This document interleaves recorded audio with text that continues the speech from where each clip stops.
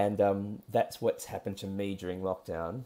In you know, because the apartment in London is not so big, but I felt like okay, I've got this little space that every day I've got playbills by the stack here. I've got books on being an artist. I've got you know notepads. I've got crayons. I've got pin boards here. You know, so I just um, try and uh, not put pressure on myself to finish anything. Just just play. I think that's what I've learned during the lockdown, and that's what's helped me get through this